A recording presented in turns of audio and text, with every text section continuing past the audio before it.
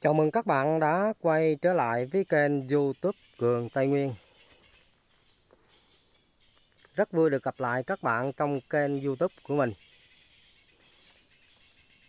Hôm nay là ngày Chủ nhật nhé các bạn. Thì hôm nay à, sẵn à, rảnh rỗi thì giải lao luôn. Thì mình cũng làm clip này là cũng ngoài luôn một xíu. Thì à, cũng mong các bạn đón nhận và xem clip ủng hộ mình nhé thì mình cũng nhà nông Tây Nguyên cường Tây Nguyên cũng là mình đấy. Nói chung là mình làm đủ món luôn các bạn. Thì hiện tại mình có con cháu là sắp sinh rồi. Thì nói chung là cái mùa này á, ở Giang Nghĩa mình là bước vào cái đầu tháng 3 này là cái mùa mặt là khá là dồi dào luôn. Thì hồi trước kia là nói chung là bà con mình lấy mặt á là rất là dễ luôn. Bởi vì cái cái cái cái mật độ mà cái mức phá rừng cũng giống như làm rẫy, làm nương, mở rộng cái diện tích mà ồ ạt thì không có, thì riêng những cái con ong mật nó làm rất là gần cái khu à, dân cư của mình luôn. Còn hiện tại mình đang ở Gia Nghĩa mà mình cũng đang đứng chỗ này á, là cái à, khu vườn Nam Cát Tiên cách thủy điện Đồng Nai năm tầm 5 km hoặc 6 km nữa. Đây mình án chừng thôi chứ nó không có được chính xác nhưng mà hiện tại mình đang đứng tại cái lạch nước này cái lạch nước này là chuẩn bị đổ xuống sông Đồng Nai đấy các bạn. Xuống sông Đồng Nai là cái thủy điện Đồng Nai năm đấy. Thì riêng cái à, mùa à, vừa rồi là khô hạn, khá là khô hạn luôn. Cho nên là cái lạch này nó sẽ đứt khúc hết rồi. Những cái đoạn mình đứng đây là không có nước, nhưng mà cũng có thể là có những cái đoạn có nước là cá khá là nhiều, bây giờ nó tập trung vào đấy.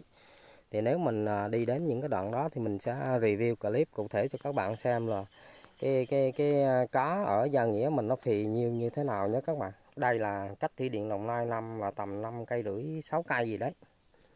Thì mình nói theo cái đường dài con điện chim bay là chắc không khả năng là không đến.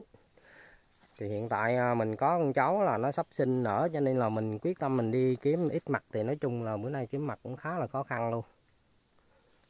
Đó, cho nên là mình review luôn à, một cái clip này cho các bạn xem là cái cảnh giao nghĩa mình à, đi khai thác mặt như thế nào, hiện tại mình đi khai thác mặt là nó có dễ hay không hay là nó khó thì mình nói thật các bạn là khá là khó. Bởi vì à, cái à, diện tích bà con mình phá rừng ồ ạt nên là mở rộng cái diện tích khá là nhiều, nhưng riêng những cái con ong mặt nó tập trung nó đi vào những cái vực sông là hết. Nói chung nó không có ở gần khu dân cư của mình giống như trước kia nữa, cho nên bữa nay khai thác được clip mặt khá là khó khăn luôn hiện tại mình đang đứng tại cái lạch nước chuẩn bị đổ xuống sông Đồng Nai năm nhé các bạn. Thì mình cũng có thấy được một cái ổ ong khoái rồi.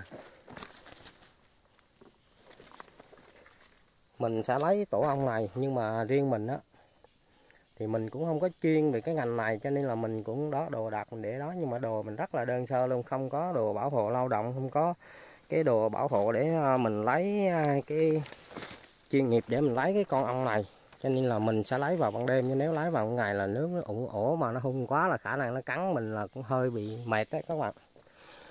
Thì mình à, sẽ review cho các bạn xem cái tổ ong khoái này nhé tổ này theo cái dự đoán của mình là tầm 10 cân trở lên chứ không dưới 10 cân nhé các bạn. Khá là to mà cây khá là cao luôn. Tối nay mình sẽ lấy tổ ong này mình zoom cho các bạn xem nhé